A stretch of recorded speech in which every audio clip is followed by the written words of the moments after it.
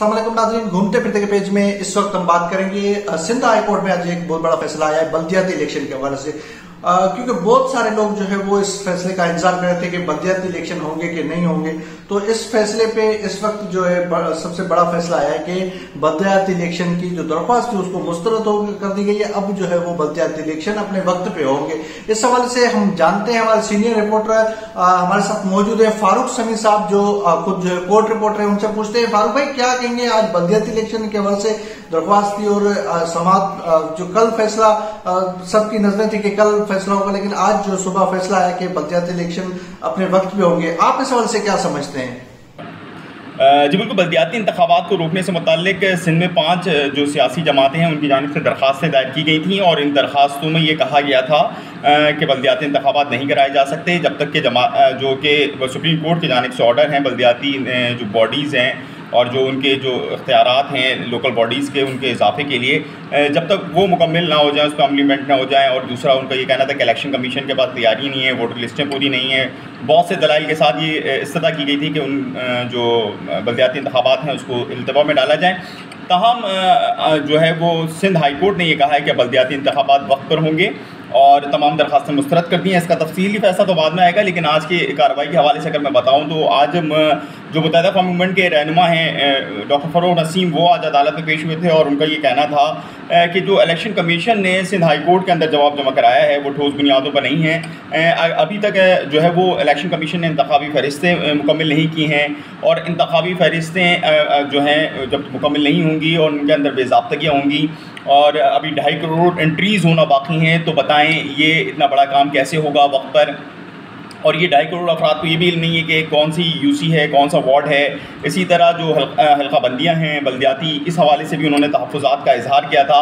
और उनका ये कहना था कि बल्दियाती इंतबात को रोका जाए। उन्होंने इस जिन में जो है वो नवाज़ शरीफ केस जो है, उस हवाले से भी उन्होंने नवाज़ शरीफ के केस के हवाले से भी जो है कुछ दलाल दिए थे कि वहाँ पर भी कानून तखाजी जब तक पूरे नहीं हुए तो इंतबात नहीं करा जा सकते थे। इसी तरह जो आज तहरीक इंसाफ के जो वकील हैं, चौधरी आसिफ़ वो भी अदालत में पेश हुए थे और उनका ये कहना था कि सुप्रीम कोर्ट ने बल्दियाती इदारों को, क्योंकि ख़ुद मुख्तार बनाने का हुक्म दिया है और मुकामी अदालतों के, इदारों के, हुकूमतों के जो इदारे हैं, उनके अलग से फ्रंट जारी करने का हुक्म है। और आर्टिकल जो 140 से है, जिसके तहत कानून साजी के बाद इंतबात कराने का हुक्म है। इन तमाम चीज़ों को करना है तो उसके लिए ज़रूरी है कि आपको वक्त चाहिए, लिहाजा इंतबात ना कराए जाएँ। क्योंकि इस तरह इंतबात कराए गए तो वो बलदियाती इंतबात जो होंगे और जो नई बलदियाती हुकूमत बनेगी ये कमज़ोर तरीन बलदियाती हुकूमत होगी। याद रहे कि जो जमात इस्लामी के वकील हैं, वो भी चौधरी आसिफ ही हैं। इलेक्शन कमीशन ने के बाद, उसके बाद दलाइल शुरू हुए तो इलेक्शन कमीशन का ये कहना था कि जो आपने इंतबी वोटर लिस्टों के हवाले से जो बातें आ रही हैं और दीगर चीज़ें आ रही हैं तो सारी गलतियाँ इलेक्शन कमीशन की नहीं होती। कुछ गलत मालूम का इंदराज होता है, जिसके बायस कुछ खामियाँ रह जाती हैं, जिनको दूर करने के लिए हम काम कर रहे हैं। और जो वोटर लिस्ट की गैर हतमी लिस्ट है, वो आम इंतबात दो हज़ार तेईस के लिए जारी की जा रही है। बलदियाती इंतबात की वोटर लिस्ट तो हमने मुंजमद कर दी है। और किसी को अगर कोई एतराज़ है इस हवाले से तो वो एतराज़ कर सकता है। उनको ये भी कहना था कि जो बलदियाती हल्का बंदी है, वो इलेक्शन कमीशन की ज़िम्मेदारी है वो हमने करा दी है। जस्टिस जुनेद गफ़ार ने इस पर यह कहना था कि दरख्वास्त गुजार कह रहे हैं कि बल्दियाती इलेक्शन बल्दियाती जो हल्का बंदियाँ हैं, उसमें बेदाबतगियाँ हैं और ये दुरुस्त तरीके से नहीं हुई हैं। तो उनका ये कहना था कि कोई भी वोटर हल्का बंदियों को चैलेंज कर सकता है। हमने पूरे सिंध में हल्का बंदियाँ की हैं, सिर्फ़ दो फ़ीसद हमारे पास एतराज़ात आए हैं और कुछ दरख्वास्तें हमने निपटा दी हैं, कुछ दरख्वास्तें ज़ेर समात हैं, कुछ में हमने तब्दीलियाँ की हैं। पाँच सियासी जमातों ने बल्दियाती इंतबात रोकने के लिए जो है वो अदालत में जो है वो दरख्वास्तें दायर की थी और इलेक्शन कमीशन ने तमाम स्टेक होल्डर्स के जितने भी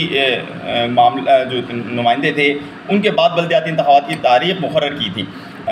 इस हवाले से जो सिंध हुकूमत के अतराज़ात हैं उनका ये कहना था वो हमने वो भी माने हैं और किसी भी एक पार्टी का उम्मीदवार ऐसा नहीं आया जिसने हमको ये कहा कि हमारे सारे हकूक़ सल्ब कर लिए गए हैं। इलेक्शन कमीशन की जानब से जब ये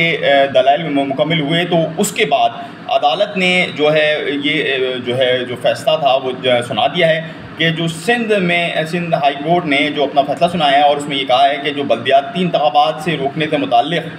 जो जितनी भी दरख्वास्तें थी, वो मुस्रद कर दी हैं। अच्छा इसमें ताज़ा अपडेट ये हुई है कि एम क्यू एम के जो डॉक्टर फ़रूक नसीम हैं, उन्होंने ये कहा है कि वो इस हवाले से सुप्रीम कोर्ट पे जाएँगे और वो अभी रुकेंगे नहीं, क्योंकि इस तरह अगर इलेक्शन हुए तो ना लोकल बॉडीज़ बॉडीज़ किसी काम की होंगी, ना जो बलद्याती इन इंतबात के नतीजे में जो बल्दियाती हुकूमत बनेगी, वो इस काबिल होगी कि वो आवाम के मसाइल हल कर सके। तो ये आज का सिंध के हवाले से बहुत बड़ा डिसीज़न है। अदर सिंध हाई कोर्ट ने और सिंध की सबसे आला अदालत ने ये फैसला दे दिया है कि अब बल्दियाती इलेक्शन होंगे और जो बल्दियाती इलेक्शन की तैयारी के साथ मैदान में वो यकीनी तौर पर उनको, उनके लिए बेस्ट ऑफ़ लक है। लेकिन जो ये समझ रहे थे कि इलेक्शन नहीं होंगे उनके लिए, ये एक बुरी खबर है। जी नाजिन हमारे सीनियर रिपोर्टर फारूक समी की आपने बात सुनी और बल्दियाती इलेक्शन के हवाले से मैं एक और बात कहूँ कि मेरी मुख्तलिफ़ जो बल्दियाती इलेक्शन लड़ने वाले उम्मीदवार थे, आज़ाद उम्मीदवार थे, कई लोग जो है उनसे बात भी हुई। उनका ये कहना था, मुख्तलिफ़ पार्टियों के लोग थे, वो भी रबते में थे। उनका ये कहना था कि बल्दियाती इलेक्शन होने चाहिए क्योंकि हमने कैंपेन मुकम्मल जो है कैंपेन की है। अब एक दो दिन पहले जो है वो बल्दियाती इलेक्शन मुलतवी हो जाते हैं तो उस पर जो हमें जो हमारी कोशिशें थी जो आ, अगर पहले फैसला आ जाता पहले पता चल जाता कि बल्दियाती इलेक्शन जो है वो मुलतवी हो रहे तो फिर आ, कुछ और बात थी अब एक दिन रह गया एक दिन में अगर पता चलता है कि बल्दियाती इलेक्शन मुलतवी हो जाएँगे तो उस पर जो है वो बिलाकर जो ये पूरी जो अफवाहें थी वो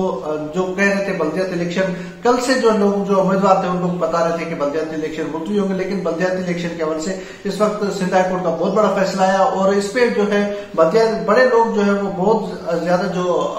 लोग हैं वो इस पे खुश भी है मैंने उनसे बात भी की कि अब बल्दियाती इलेक्शन अपने वक्त पे होंगे। अब बात यह है कि पूरी बल्दियाती इलेक्शन लोकल गवर्नमेंट के जो इख्तियार है, उस पर बहुत बात हो रही है कि वो लोकल गवर्नमेंट के इख्तियार जो है, वो कब जो है वो दिए जाएँगे। उस पर सिंध हुकूमत सिंध हुकूमत का अपना एक लायामल पहले जो है वो इमरान खान साहब हुआ करते थे। जो सिंध हुकूमत आगे क्या उनको बल्दियाती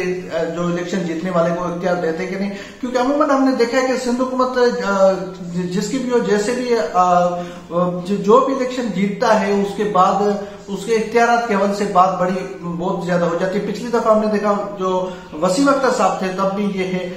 बलदियाती इलेक्शन इख्तियार की बहुत ज़्यादा बातें की गई कि इख्तियार इतने नहीं है, जिसकी वजह से जो है वो काम नहीं किया है। इस वक्त जो है वो एमक्यूम और पीपुल्स पार्टी हिता दी है। अब देखना यह है कि बलदियाती इलेक्शन जीतने के बाद अगर एमक्यूम दोबारा जीती है तो एमक्यूम को वो इख्तियार मिलते जो एमक्यूम वो इख्तियार चाहती थी। और दूसरी जानब जो सिंध में इस वक्त जो सबसे अच्छे फैसले में अगर बात करूँ, सिंध में अगर अच्छे फैसले इस वक्त जो अपोजिशन जमाते हैं, पीटीआई है, जीडीए है, उनकी जानब से बड़े अच्छे लोगों को इस वक्त जो है वो टिकटें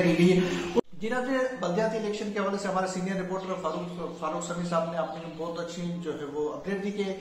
बलदियाती इलेक्शन अपने वक्त में होंगी। जो भी अपडेट होगी हमें, हमारे पास बलदियाती इलेक्शन के हवाले से हम आप नाजरीन तक पहुंचाते रहेंगे।